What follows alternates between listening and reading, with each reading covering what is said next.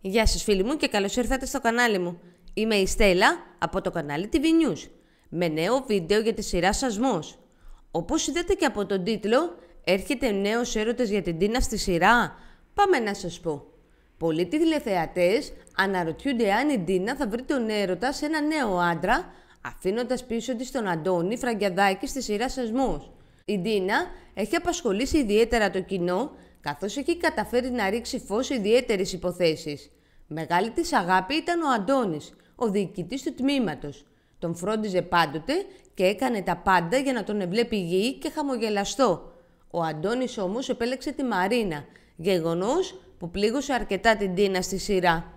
Τι θα συμβεί λοιπόν στο μέλλον και πόσο θα αλλάξει η ζωή της; Η Ευθυμία Καλογιάννη μίλησε στη Χρύσα Παχούμη στο περιοδικό τηλεθεατή για την Τίνα στη σειρά Σασμός, αλλά και για το ενδεχόμενο να έρθει ένας νέος έρωτας στη ζωή της. Όπως τόνισε χαρακτηριστικά, θα υπάρξουν εξελίξεις στην προσωπική ζωή της. Δεν γνωρίζω λεπτομέρειες και νομίζω πως δεν θέλω να γνωρίζω. Θέλω να κάνω αυτό το ταξίδι μαζί της, όποιο και αν είναι.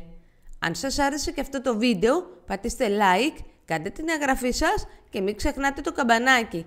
Να είστε καλά φίλοι μου. Γεια σας!